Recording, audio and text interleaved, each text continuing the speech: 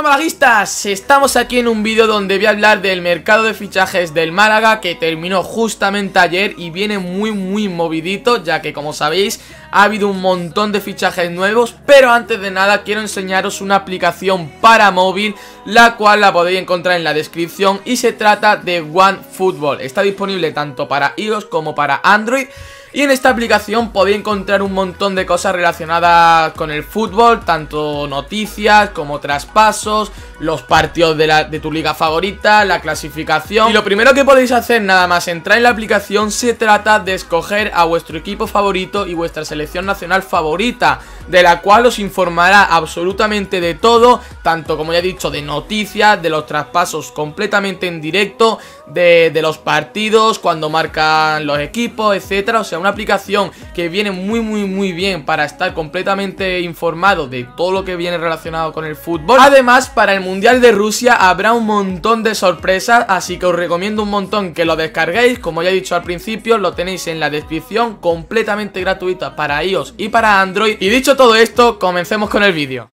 Bueno malaguistas, estamos aquí en un nuevo vídeo donde voy a comentar todo el mercado de fichajes invernal que ha tenido el Málaga Que de hecho ha sido muy muy movidito, hemos tenido un total de 7 nuevos fichajes y bastantes salidas también. Y de hecho creo que hemos sido el equipo que más hemos fichado durante este mercado invernal en la liga. Y pues bueno, a ver si todos estos fichajes vienen, vienen bien para la salvación. Pero bueno, el vídeo lo voy a estructurar en dos partes. La primera que va a venir a continuación se tratará de, comentar todos los jugadores que han salido. Y después voy a comentar ya todas las entradas. Así que dicho esto, vamos a comenzar. La primera salida se trata de, de un jugador que ha tenido muy muy poco protagonismo durante esta primera etapa de la liga Sobre todo porque es que ha jugado creo que dos o tres partidos y, poco más. No ha jugado apenas, un jugador que lo hemos desperdiciado bastante Ya que nos costó en el mercado alrededor de 5 millones en verano y pues no lo hemos aprovechado absolutamente nada. Pero bueno, se va cedido al Club León mexicano,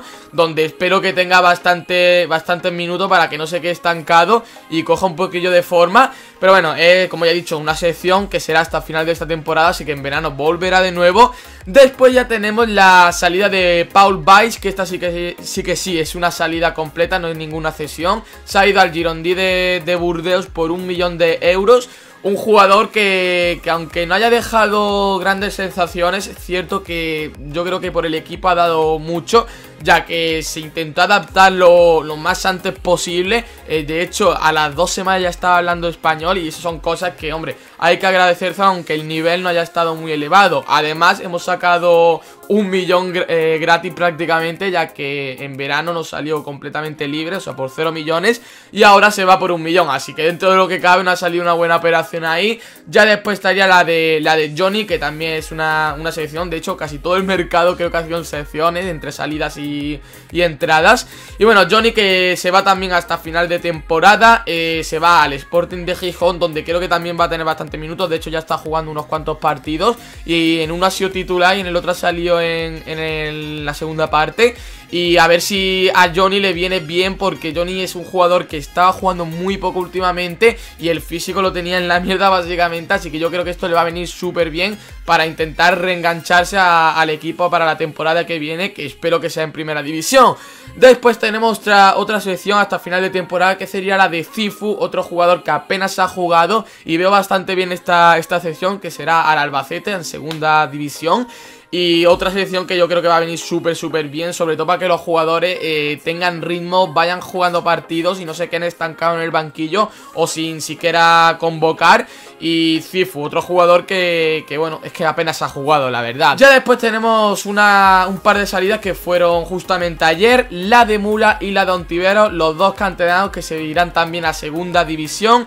Eh, Mula en su caso se irá al Tenerife, donde también creo que jugará bastantes minutos y Ontiveros se irá, se irá a Valladolid. Un jugador, Ontiveros, el cual se debe de centrar ya en el fútbol, ya que se ha visto que calidad tiene de sobra. O sea, un jugador de los mejores de la plantilla del Málaga pero sin embargo eh, no se concentra en los partidos, de hecho hay mucha muy mala disciplina por parte de él, donde como ya sabéis ha sido no ha sido convocado, mejor dicho, en muchos partidos y a ver si está estos días, estos meses que esté en Valladolid le viene bien, sobre todo para concentrarse en el fútbol, ya que si se concentra completamente va a ser uno de los mejores jugadores. Y ya por último tenemos la salida de Zengonen, que esta fue una salida en el último minuto, ya que bueno, realmente no ha sido ni sección ni fichaje por otro equipo, simplemente se le ha dado libre la ficha. Y esto ha sido, ha sido bastante curioso ya que se dio en los últimos minutos de mercado para poder fichar a otro jugador que finalmente no se ha fichado o ha, o ha habido un lío tremendo con ese jugador lo vamos a comentar al final del vídeo ya que como ya he dicho ha habido bastante revuelo. Pero bueno, vamos a comenzar con lo más interesante que serían los fichajes. El primero de ellos sería Ignacy Mikel que este realmente no es un fichaje de invierno como tal, ya que vino en noviembre o diciembre para sustituir a Juancar, que dejó su ficha libre por la lesión. Pero bueno, de todas formas lo voy a contar aquí porque lleva bastante poco tiempo aquí en la Rosaleda, en, en Málaga. Por lo tanto, yo creo que viene bien comentarlo por aquí. Ignasi Mikel, que como ya sabréis prácticamente todos, viene del Lugo de la segunda división. Viene por unos 500.000 euros. Y es un jugador que de momento es cierto que no está dando un, nivel que tú digas está en la estrella del equipo, pero sí que está cumpliendo con lo, con lo que debe hacer en el, centra, en el centro de la defensa. Y dentro de lo que cabe en los últimos partidos está cumpliendo lo que tiene que hacer. Un jugador que yo creo que nos va a venir bastante bien para la defensa. De hecho, nos está viniendo, mejor dicho. El siguiente jugador se trata de Iturra. Un jugador que ha venido con mucha polémica encima. Ya que, como muchos sabréis, se fue de la manera que se fue en su primera etapa del Málaga. Pero bueno, hablando de lo deportivo, está haciendo las cosas bastante bien. Venía del, del mexicano, equipo donde ha jugado muchísimos partidos estas últimas temporadas. Y ha venido completamente, completamente libre por, ah, bueno, por no, hasta 2019, o sea, un año de contrato, excepto que lo renueven, evidentemente. Y bueno, de momento está demostrando nivel bastante, sobre todo por el mediocampo que teníamos, que, que le ha mejorado bastante. Pero bueno, un fichaje que de momento lo está viniendo bastante bien. Ya después tenemos a Alberto Bueno, otro de los fichajes que se hizo al principio de, del mercado, pero que sin embargo ha jugado muy poco, solo unos minutillos contra, contra no me acuerdo, contra Leibar fue. Bueno, jugó unos cuantos minutos y tampoco ha demostrado mucho, sobre todo por, lo mismo, porque no ha jugado apenas. Pero bueno, eh, viene cedido de Loporto hasta final de, de temporada, delantero centro, de hecho demostró muchísimo nivel, sobre todo con el Rayo, donde marcó 27 goles, que es una barbaridad, os lo digo desde ya, en solo dos temporadas. Después estaría Samuel García, uno de los fichajes top de este mercado de, invierno, un jugador que viene del Levante tras no jugar mucho, eh, viene en calidad de cedido hasta final de temporada. Y bueno, ¿qué hablar de Samu García? Extremo, extremo que puede jugar por tanto por la banda izquierda como para la derecha, donde ya estuvo jugando en el Málaga y es que el nivel que, que hizo nada más debutar de, en el Málaga, como ya he dicho, pues fue, fue bastante elevado. Y yo creo que si mantiene ese nivel, aunque va a estar bastante difícil, ya que viene de un montón de equipos donde apenas ha jugado, donde apenas ha podido adaptarse, pero si se logra adaptar al Málaga como lo hizo ya en su época, yo creo que va a ser uno de los jugadores, o sea, más importantes de la plantilla. Y ahora vamos con los tres fichajes de última hora, entre ellos está Brown y Deye, un jugador que se estaba hablando en la última semana un montón y no se ha hecho oficial hasta dos o tres días antes de que terminase el mercado. Es delantero centro que viene cedido de un equipo chino que se llama el Tianjin Teda. Lo tengo aquí apuntado para verlo porque si no, no me acuerdo del nombre. Pero bueno, eh, como ya he dicho, un delantero centro que es bastante potente, de estos que te saca cuerpo y te revienta básicamente. Y llegó a jugar en, eh, en, el Panathinaikos donde también demostró bastante, bastante nivel. Ya después tenemos uno de los fichajes que se hizo justamente ayer, sería Isaac Success.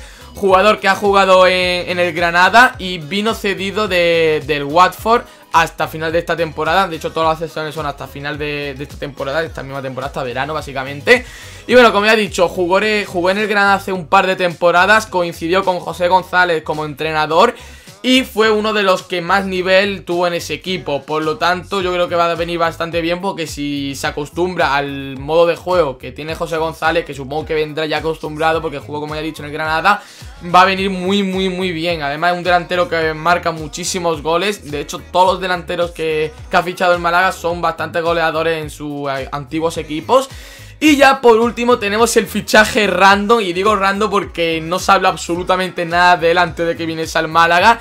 Y se trata de, del Stien, un extremo o banda izquierda belga que viene cedido, bueno, el cedido no, viene libre del Rubín Kazán un jugador que, es bastante veloz, que tiene muy buena técnica y también bastante goleador para hacer extremo. De hecho, marcó en dos temporadas unos 35 goles. Que como ya he dicho, si antes he dicho 29 goles de Alberto Bueno en dos temporadas, pues 35 también una barbaridad jugadores que tienen muchísimo, muchísimo gol. Y es un jugador que, que, viene con bastante polémica porque en su anterior equipo fueron, fue varias veces denunciado y arrestado por la policía en Bélgica. Y de hecho también fue sancionado por la, por la Federación Belga en su, en su liga durante una temporada entera por, por cosas que hizo, no sé exactamente cuáles, ya que he estado viendo que era detenido por unas protestas o algo así por el estilo. Pero bueno, un jugador que, como ya he dicho, bastante polémico, pero que sin embargo un jugador con muy, muy buena técnica y que puede venir bastante bien. Y mientras no haga estas cosas en, Málaga, pues yo creo que va a venir bastante bien. Y esto sería todos los fichajes que ha hecho oficial el Málaga, pero sin embargo voy a hablar de una cosa que se está hablando mucho, sobre todo en los medios turcos, y se trata del jugador Hamed Salik, un jugador que juega en el Galatasaray. ¿Y por qué os digo esto? Pues se trata de que, como ya he dicho antes, a Zengonen lo dejaron la ficha libre en los últimos minutos de mercado. Y esa ficha se dejó libre para poder fichar a este jugador que se trata de un defensa que también lo puede hacer de mediocentro defensivo. Y, y por lo que se ve el Málaga lo llegó a firmar pero sin embargo falta unos cuantos papeles y al final no sé qué ha pasado, no sé si es que el, el fax ha fallado o lo que sea pero se está hablando sobre todo los medios turcos que se ha hecho lo que sería el fichaje con, con, el Málaga y el Galatasaray, pero sin embargo faltan papeles y ahora la FIFA lo está, lo está examinando, lo está investigando, lo que sea, pero bueno, un fichaje que de momento no se ha hecho oficial, pero, pero que no sabremos hasta, hasta que lo oficialicen qué pasará con ese fichaje. Y hasta aquí el vídeo con todos los fichajes del Málaga. Como habéis visto, la mayoría son jugadores que son delanteros y muy seguramente el modo de juego del Málaga será al contraataque básicamente. Yo lo veo bastante bien, sobre todo porque el Málaga no estaba jugando a nada y yo creo que de esta manera se podrá ver algo en el terreno de juego.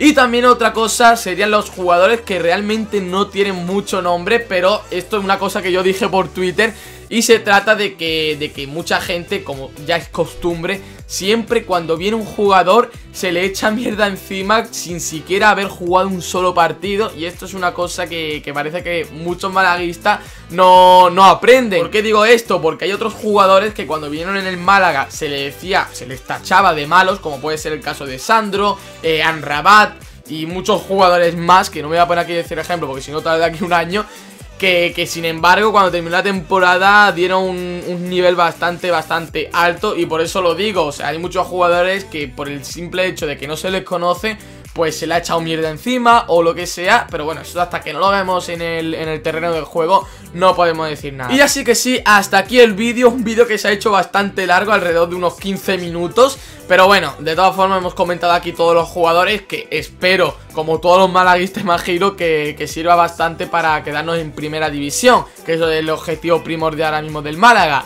Así que ya sí que sí, hasta aquí todo, espero que os haya gustado, like, suscribiros si no estáis y hasta la próxima. Adiós.